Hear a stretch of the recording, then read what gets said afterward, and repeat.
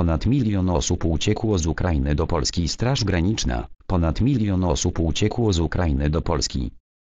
Liczba osób, które uciekły z Ukrainy do Polski przekroczyła milion, poinformowała w niedzielę wieczorem Polska Straż Graniczna. To stan na godzinę 20.00 w niedzielę. Najwięcej osób przekracza granicę w Medyce i Korczowej.